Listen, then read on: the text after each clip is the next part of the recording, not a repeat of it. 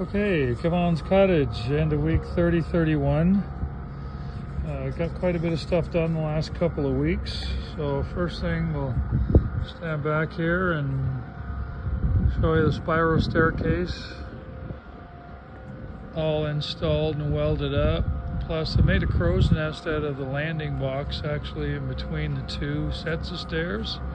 So we've got one set of stairs coming up from the uh, upper deck up to the crow's nest and then a spiral going down uh, to the front deck. So I'll, I'll, show that to you from upstairs when I get around here. So I'll take a quick uh, walk through the uh, through the uh, up, updates uh, on the boat for the last couple weeks. Give me one quick sec here. Climb aboard. Um, biggest thing out here in the back um, is we got uh, the stairs all welded up. So there was a block of wood there if you look at it in the last videos. And we've got a place where water can flow out from underneath the uh, underneath that top stair. It was trapped in there before and got all rusty. And then the uh, front, the whole front has been uh, welded in and closed off.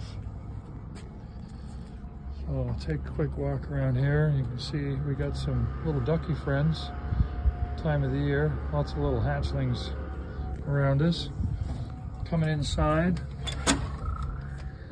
Okay, I got the doors, uh, doors all framed in. I'll kind of walk through here into the, kind of into the dark bedroom where I've got uh, bifold closet doors on there. So let me open one up here so it gives you a chance to see how that operates. And then of course you can see the the bedroom door is uh, already open there. Uh, the bathroom, um, got the shower walls and the uh, glass doors installed. Uh, let me close the uh, bathroom door here and then at least it'll give you an idea on what the finished product looks like in there. And then there's another door to match that uh, over in the maintenance room. Um, got the uh, metal uh, trim put on the floors, as, as I mentioned uh, in the last video, get that done. So we got that taken care of. Plus we got metal trim, as you can see, around the pellet stove. And then what I'm gonna do is I'll uh, take a walk upstairs and show you where most of our time has been spent.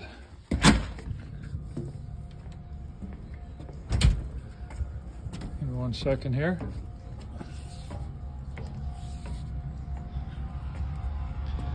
Okay, so from up top, get a chance to see we cut the wall, the whole front wall of the boat out on the upper deck. So you can see how this is going to work now. So you go up to the upper deck here. So that upper deck is basically a little crow's nest or a little lookout position. It gives you a great view of the lake and everything else so you can see how far up we are. We're higher than the actual roof where the solar panels are going to be going. And uh, if I take a look down, so my one thought was actually put a big slide going out into the water here so that that may be done. So let me just uh, take a walk down the stairs here and then I'll stand back and show you what we're going to do here. So now that the uh, now that the stairs have been welded in and anchored in place, uh, the two front legs of the spud, two aluminum ones, one there and one there, we're going to tie the main leg of the spud, which has to stay, so that's that big aluminum one there. We're going to bracket it to the uh, crow's nest and then we'll also bracket it up a little higher to the uh, beams uh, on the uh, covered patio up there.